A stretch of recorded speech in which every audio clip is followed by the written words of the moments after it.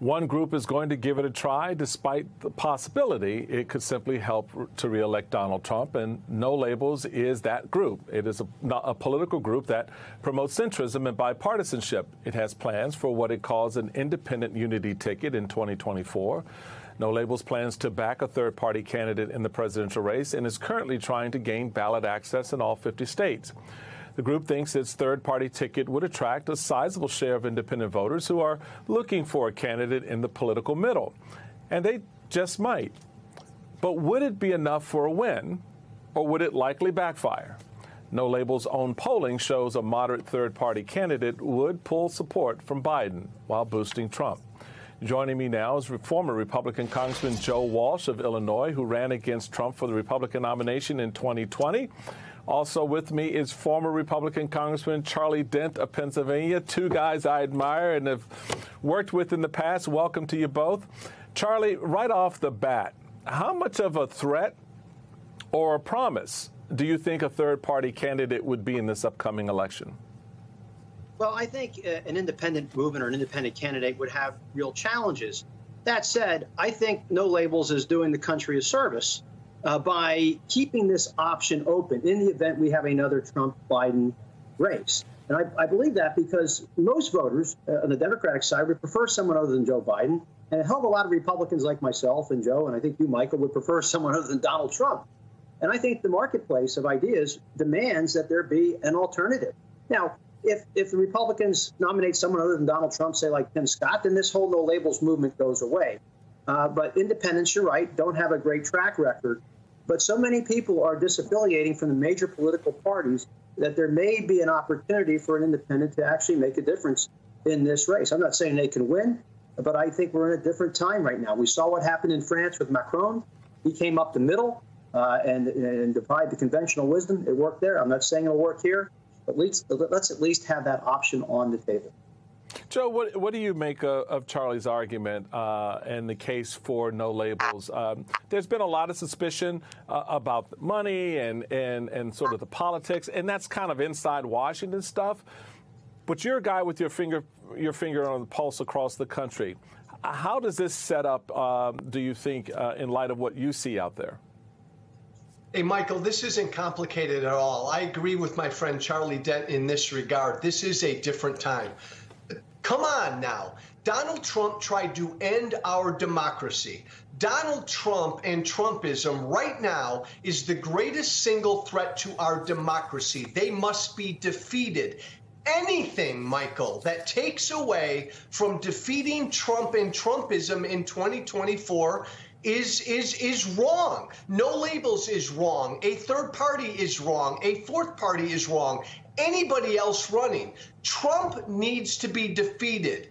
The only way that gets done in 2024 is if all of us, again, line up behind Joe Biden or whoever the Democratic nominee is. I have zero patience, Michael, for all of these ego driven, money driven people like no labels who want to put their faces and their candidates out here.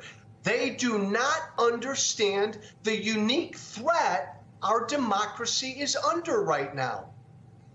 Charlie, how, how, do, how do you respond to that that argument? Because you, we do hear that quite a bit. Um, that idea of it being a unique threat uh, that Donald Trump presents. So why would we do anything or, or position uh, this election in a way that could create a pathway or lane for Donald Trump to to actually win? Well, I agree with Joe to the extent that, look, nobody, I don't want Donald Trump to be our president again. I voted for Joe Biden in 2020, in 2020, but I also want to say this that Joe Biden ran as a transitional candidate. He was going to be the, tr- the transitional candidate the next generation of Democratic leadership. That's what I interpreted. Uh, and I, I think he has veered a bit too far to the left, in my opinion. I think we need somebody more centered. And if if neither party, you know, can come up with a more centered platform, I, I think you know this gives no labels a reason to exist. And I do think that Republicans, this is a clarion call, Republicans to nominate someone other than Donald Trump. If Donald Trump is not nominated, this whole no labels movement goes away.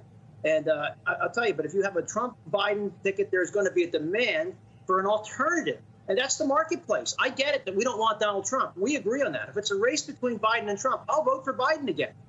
Uh, but I don't like to be told that I just have to accept what I'm being fed. Of Americans don't like Joe, I say you're shaking. no, and I, you know, and I say this all the time because I love Charlie Dent. I love serving with him. But no, look, we don't get to pick when the good Lord places us on this earth. And right now, we are here right now, and we have this unique threat named Donald Trump. So we all kind of have to put our policy differences aside. I don't love Joe Biden, right? He's a little too old for me, and all the rest. None of that matters. This isn't about Biden. This is singularly about stopping Donald Trump, the threat to our democracy. And the only way to do that is one on one. Support the Democratic nominee. That's it. Charlie, well, former, the, go ahead. Go ahead, Charlie. I, I had something I want to play for you, but go ahead. I said, but neither party should be afraid of competition. That's what this is about. They're, they're afraid that somebody else will emerge. Now, I don't know how this plays out. In, in, in 1992, uh, many people on the George W. Bush, uh, George H.W. Bush campaign said that Ross Perot hurt George H.W. Bush. Well, actually, he hurt both candidates in many respects. So I think we have to be a little careful about how we assume an independent movement might affect the 2024 election. We simply don't know that right now. So, so Charlie you, you, and and Joe, we had former Speaker of the House uh, Paul Ryan joining uh, in CNBC's Squawk Box earlier this week, and he discussed putting forth a Republican candidate that's not Trump. So, take a listen to this. Do you think you win if you nominate somebody not named Trump? I do. Because you make everybody who was supporting Trump very mad. Yeah, so like I'm a never again Trumper, so obviously that the 33% Trump base doesn't like a person like me because I'm very clear. I don't think he's fit and I don't think he can win. But I believe strongly if we nominate a Republican, not nominate Donald Trump, we win this White House. I, I really believe that. And so all we got to do is do that. And I think voters are going to realize his baggage is so big we're not going to win with him, and there are all these other Republicans that they that they're fine with that could win. So, Charlie, does that is that part of making your case there? Yes, it, it is actually. Now, I think that uh, some some Republican other than Donald Trump has a much better chance of defeating Joe Biden, but I wouldn't I wouldn't bank on it either because I don't think you have to also beat Trumpism, uh, and I just think running as a mini Trump is not necessarily going to uh, be the ticket for the Republican Party. Also, I do think the abortion issue is also one that is a major liability for the Republican Party. It's going to have to moderate on that issue. So I think Paul's right. Uh, a, a non-Trump Republican would have a much better chance of winning, but by no means that's a guarantee. Joe, but here, here's the problem that, as I see it, Joe, and I, I hear the, oh, if we nominate somebody other than Trump, if there is no if. indication. Donald Trump is sitting at 52, 53 percent appro- uh, uh, you know, desire among Republicans. The close, the next closest Republican challenger is at 21 percent. So, so Joe, someone who's been out there, as I mentioned before, um, you know this party inside and out. You've been a part of it. You're now out of it. What have you learned about the people who are still there, who are still pushing the Trump narrative, but also those folks who are saying, if we only nominate someone else? They're, Paul Ryan, Michael, is living in la la land. He's utterly out of touch with where the average Republican voter is right now. The average Republican voter is with Trump. This, if not Trump, if, if somebody else can be the nominee.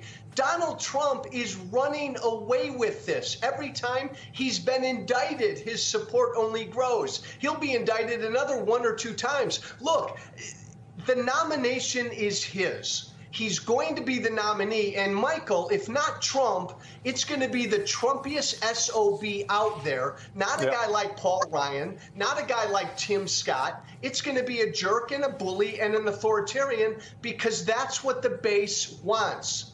And, and I know it sucks because I want my party back, but but we don't live in that time right now. This is the party of Trumpism. They're a threat to democracy. They need to be defeated. The only way you defeat them is through the Democratic Party right now. Hey, Charlie, to, to that point, uh, how how do how do we get to a point where the party nominates someone other than Trump when the base wants someone who will be their retribution? Who will be the person who is going to be on in the street fighting, throwing, throwing, you know, punches to the below the belt uh, kind of politician. Uh, does the sort of kumbaya, morning in America, you know, uh, kind of narrative that we're hearing from some of these candidates sell to a base that wants somebody who's going to go out and break things and beat up people? Uh, not at the moment. However, I, I would say this there are many Republicans. I'm not saying a majority right now, but there are a lot of Republicans who want someone other than Donald Trump. When we say all Republicans want Trump, that's not true. Yeah, he may be about 50% right now, but there are a lot who do not want him. My own view is that if the Republican Party wants to reform itself, it will have to become much more socially tolerant. It'll have to re- uh, embrace free markets and modern, reasonable regulation, engage uh, on, on uh, national security in a much more uh, serious way that it has, say, under Donald Trump. There are things it is going to have to do uh, to be to attract that center right to center left voter that is not winning right now. There are too many Republicans defecting, like me and like Joe and others, and the, the Trump path will not work. Now, right now, he's in yep. in, in, command. But hey, if, if, if he wins if he wins a nomination in 2024, Republicans lose the presidency again.